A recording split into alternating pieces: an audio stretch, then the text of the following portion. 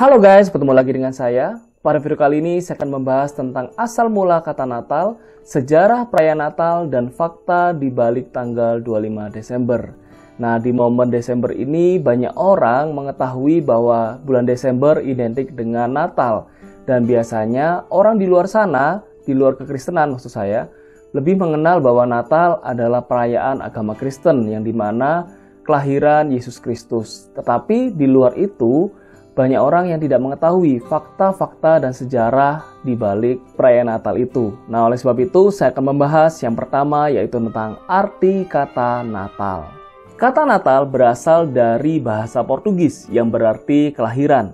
Kata ini akrab di telinga orang Indonesia mungkin sejak pada waktu bangsa Eropa memasuki wilayah Indonesia. Nah, kata Natal ini juga mempunyai kesamaan dengan bahasa Latin yang itu istilahnya dies natalis. Nah, istilah ini mungkin sering kali kita dengar ya, di mana ketika ada sebuah lembaga, organisasi atau mungkin sebuah tempat yang merayakan akan hari jadinya, hari terbentuknya. Jadi kalau misalnya ada istilah dies natalis, itu artinya adalah hari lahir. Dulunya sebelum istilah Natal ini populer, ada sebuah istilah berasal dari Melayu Arab, yaitu kata maulid atau milad. Nah, teman-teman pernah dengar nggak?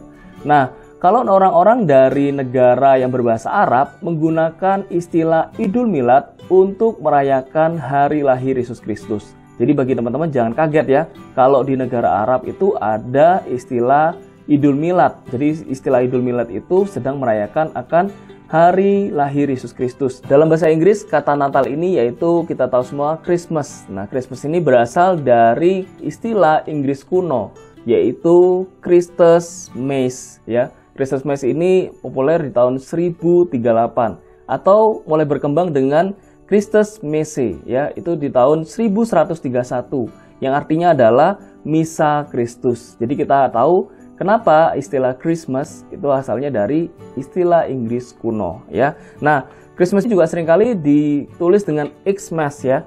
Ini bukan berarti tanpa tujuan atau e, disingkat karena malas nulis, tapi ada hubungannya dengan tradisi Yunani kuno. Jadi kata X ya, kata X itu cocok dengan tradisi orang Kristen kuno, yaitu merupakan istilah dari Kristus dalam bahasa Yunani Ciro ya. Jadi X itu biasanya diidentikan dengan Kristus. Tradisi perayaan Natal yang dirayakan sampai saat ini biasanya identik dengan pohon Natal, kartu ucapan Natal, bertukar hadiah dengan teman atau saudara, Bahkan juga cerita-cerita tentang Santa Claus atau Sinterklas yang membagikan hadiah. Nah, kalau kita lihat tradisi ini berasal dari negara barat. Jadi kalau misalnya kita bertanya-tanya kenapa sih pohon Natal identik dengan pohon cemara? Ya kita tahu sendiri di negara barat itu kan musim bersalju, hanya pohon cemara yang bertahan hidup. Nah, pohon cemara inilah yang dilambangkan sebagai pohon kehidupan begitu ya. Jadi identiknya pohon Natal itu selalu pohon cemara. Jadi kalau misalnya di Indonesia mau pakai pohon yang lain sebenarnya nggak masalah ya.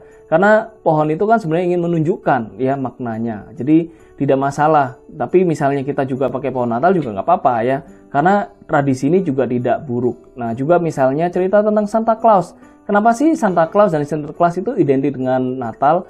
Sebenarnya nggak terlalu ada hubungannya ya. Karena apa?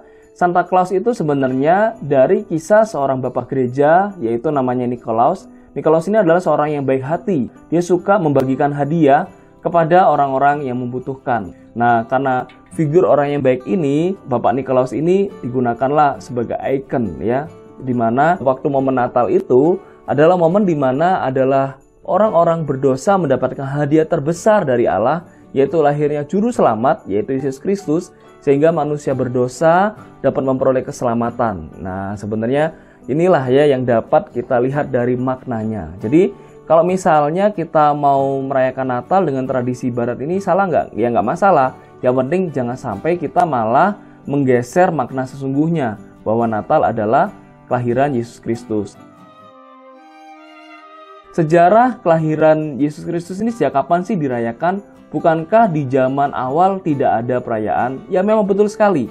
Kalau kita lihat di dalam Alkitab saja ya, di dalam Alkitab itu kan di Perjanjian Baru tidak ada cerita tentang perayaan kelahiran Yesus Kristus. Bahkan Tuhan sendiri pun tidak pernah menyuruh. Jadi kalau misalnya ada orang bilang, kenapa sih Natal dirayain Tuhan aja nggak suruh? Memang betul, tapi kalau kita lihat sejarahnya, maka kita akan tahu ya. Jadi kita harus tahu dulu nih sejarahnya baru kita bisa berkomentar. Jadi memang jemaat mula-mula sendiri tidak pernah merayakan hari kelahiran Yesus Kristus. Bahkan sampai abad yang ketiga, itu ada sebuah sejarah yang tercatat di tahun 200-an, di mana ada seorang bapak gereja yang bernama Clement dari Alexandria, Mesir. Dia mengejek orang-orang yang berusaha menghitung atau mencari tahu kapan sih Yesus Kristus ini lahir. Jadi bapak Clement ini pun mengejek. Kenapa? Karena memang arah pertumbuhan kerohanian jemaat mula-mula di abad permulaan itu mem memang lebih mengarah atau lebih berfokus kepada kebangkitan Yesus Kristus. Jadi perayaan hari kelahiran Yesus Kristus tidak pernah dilakukan karena lebih berfokus kepada kebangkitan Yesus Kristus yang di mana menyatakan kuasa dan kemenangan atas dosa. Alasan pendukung lainnya yang saya temukan dari sumber seorang bapak gereja yang bernama Origenes yang hidup sejaman dengan Bapak Clement yang tadi saya bahas, Beliau mengatakan bahwa kebiasaan merayakan hari kelahiran identik dengan kebiasaan orang kafir yang di mana pada waktu itu Firaun dan juga Herodes turut melakukan perayaan hari kelahirannya sebagai hari ulang tahunnya. Nah, sedangkan orang Kristen pada masa itu tidak melakukan hal demikian. Orang Kristen biasanya merayakan hari ulang tahunnya pada waktu hari kematiannya. Nah, mengapa? Karena memang pada waktu itu ketika seseorang Kristen yang meninggal, itu sama dengan dia memperoleh hidup yang baru, hidup yang kekal. Jadi yang dirayakan adalah hari kematiannya sebagai hari ulang tahunnya. Jadi bukan hari kelahirannya. Karena hari kelahirannya sekali lagi identik dengan kebiasaan orang kafir pada waktu itu, bukan waktu ini ya. Jadi kalau misalnya sekarang ada ikut-ikutan ya berarti dia hanya ikut-ikutan pada masa waktu yang dulu ya. Nah, tetapi gereja timur pada waktu itu juga ada yang merayakan akan hari Epifani, yaitu hari di mana Yesus sebagai anak Allah. Tetapi perayaan ini dilakukan bukan hari kelahirannya ataupun hari kebangkitannya, tetapi pada waktu hari di mana Yesus dibaptis dan pada waktu itulah Yesus dinyatakan sebagai anak Allah. Nah, pada waktu itu, pada masa itu ya, dirayakan hari Epifani itu pada 4 Januari. Nah, sejak saat itulah dengan berjalannya waktu, gereja-gereja di timur pada waktu itu mereka mulai merayakan hari Yesus dibaptis dan juga hari kelahiran Yesus pada tanggal 6 Januari.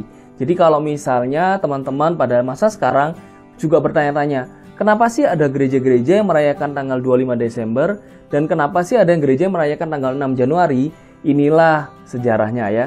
Jadi ada gereja-gereja timur yang memulai perayaan hari kelahiran Yesus dan juga hari di mana Yesus dibaptis pada waktu 6 Januari ya.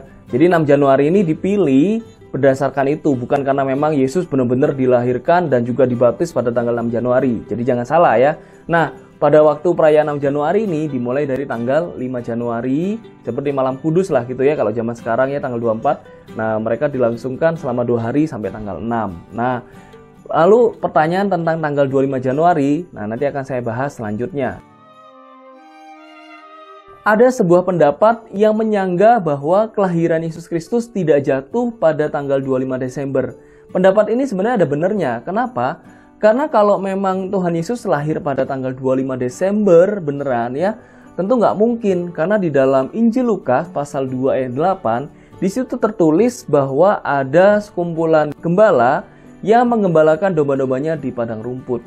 Kalau seandainya nih pada waktu itu, nggak tahu ya pada waktu itu belum 25 Desember ya istilahnya ya. Istilahnya mungkin istilah lain. Tapi dengan kondisi seperti tanggal 25 Desember yang dingin dan bersalju, tentu nggak mungkin ya karena hewan-hewan dombanya pasti mati kan dinginan dan juga padang rumputnya nggak ada karena rumputnya ditutupi oleh salju. Tentu nggak mungkin benar-benar tanggal 25 Desember ya. Ada yang mengatakan bahwa e, sebenarnya kira-kira mungkin pada musim semi di bulan April ya. Ya siapa yang tahu lah ya. Nah, yang menjadi pertanyaannya kenapa tanggal 25 Desember tetap dirayakan sebagai hari e, Natal atau hari kelahiran Yesus Kristus? Nah, ada juga nih yang memberikan pendapat bahwa tanggal 25 Desember itu bukanlah hari kelahiran Yesus Kristus, tetapi adalah hari perayaan penyembahan berhala Dewa Matahari. Nah, kenapa Yesus Kristus ditaruh di tanggal 25 Desember itu? Apakah orang Kristen sama juga merayakan hari uh, Dewa Matahari? Bukan ya. Kalau kita melihat dari sejarahnya, pada waktu itu orang-orang yang masih memegang tradisi Romawi sebelum mereka menjadi orang Kristen, mereka mempunyai sebuah peringatan kepada dewa pertanian yaitu dewa Saturnus. Mereka merayakan hari yang bernama Winter Solstice, yaitu hari titik balik musim dingin yang jatuh pada tanggal 25 Desember sesuai dengan kalender uh, Julian. Tetapi ketika mereka semuanya menjadi bertobat dan percaya kepada Yesus, mereka menjadi orang Kristen, tradisi merayakan hari Dewa Pertanian ini ditinggalkan menjadi mereka merayakan di mana hari Yesus lahir.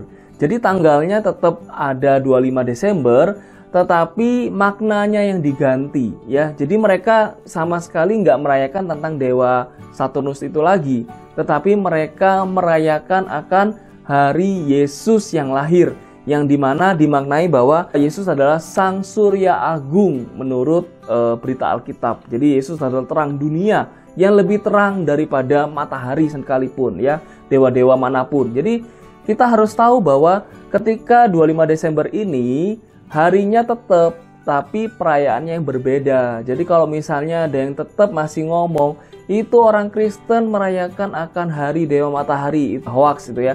Karena apa?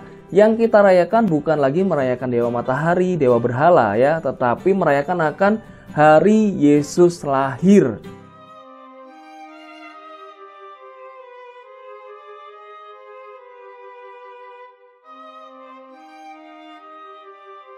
Tapi dalam kekristenan sendiri ada aliran-aliran Kristen yang tidak mau merayakan Natal karena dianggap sebagai tradisi kafir Romawi.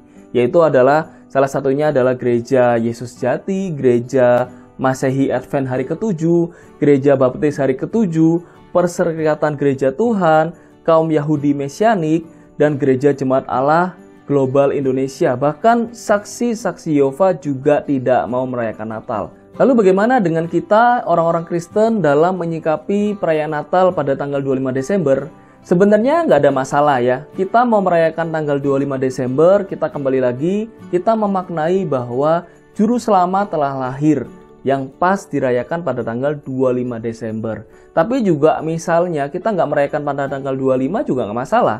Karena ini kan sebenarnya hanya sebuah momentum peringatan di mana kita mensyukuri, kita juga melihat bahwa pengharapan ini terus digaungkan setiap tahunnya supaya kita tetap ingat bahwa juru selamat pernah lahir dan juru selamat ini pada waktu penggenapan pasca Yesus mati dan bangkit, Yesus juga akan datang lagi untuk menghakimi orang berdosa. Jadi kalau misalnya kita nggak mau merayakan tanggal 25 Desember nggak masalah, karena memang ada juga gereja-gereja yang menggeser merayakan hari Natal supaya dapat mengundang dari orang-orang lain, baik itu orang belum percaya, orang dari gereja lain ya. Jadi nggak masalah ya, karena memang bukan masalah tanggalnya, bukan masalah 25 Desembernya. Tapi apa yang mau kita peringati? Mau kita mau ikut seperti yang gereja timur, ya gereja ortodoks, tanggal 6 Januari juga nggak masalah. Juga ada gereja-gereja seperti Okomene ya contohnya, itu malah merayakan di bulan Januari dan juga ada persekutuan gereja-gereja ya biasanya di bulan Januari.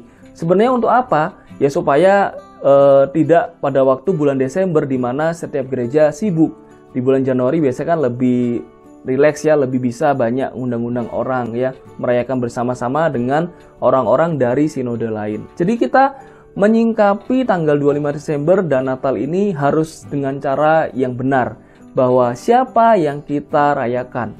Jangan sampai kita merayakan hal-hal yang lain. Contohnya, wah saya mau merayakan Natal karena pengen dapat banyak hadiah, pengen liburan, pengen berpesta. Nah itulah sudah mulai beda makna bahwa Yesus harusnya yang kita peringati bahwa Yesus pernah lahir, dia menyatakan pengharapan bagi manusia berdosa, itulah yang kita rayakan, bukan merayakan yang lain. Nah, demikianlah pembahasan dari saya. Semoga pembahasan ini membantu setiap teman-teman yang kebingungan, bahkan mungkin orang-orang yang pengen belajar apa sih yang diperingati dari hari Natal itu, apa sih arti Natal itu. Nah, melalui video inilah.